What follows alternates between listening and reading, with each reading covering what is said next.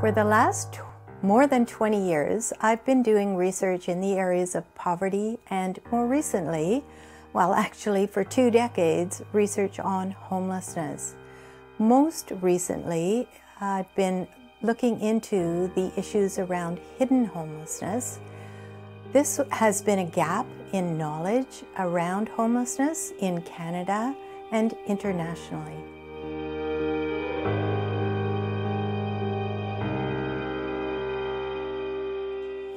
Hidden homelessness is um, just like it sounds. It's something that is hidden, invisible to people who are researching homelessness or also to service providers, policymakers, and the general public. It involves forms of homelessness that um, involve things like couch surfing. Many people live in places that were not meant for human habitation so they may be staying in an abandoned building, for example. That's sometimes also called squatting. We've interviewed people who were actually living on a porch or under a porch.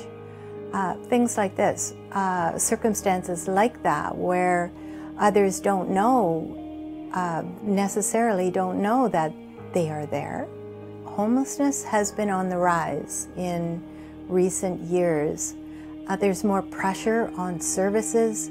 Shelters are often full to, um, to being overcrowded, in fact. Uh, there's great demand for food services like soup kitchens and food banks.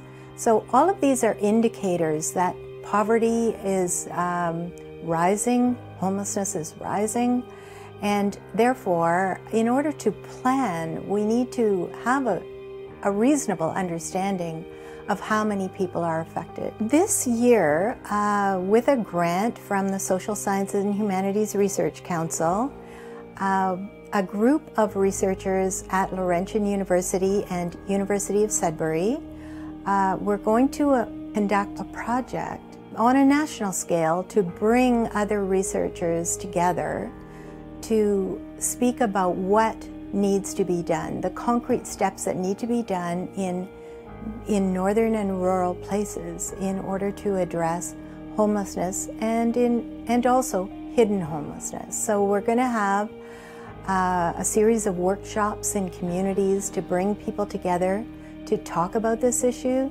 Then we're going to have a national conference about it. And finally, produce a book. Um, and this is something that we don't have in Canada. We haven't had people coming together to really speak about hidden homelessness and how it's related to the issue of homelessness in general and what needs to be done to address it.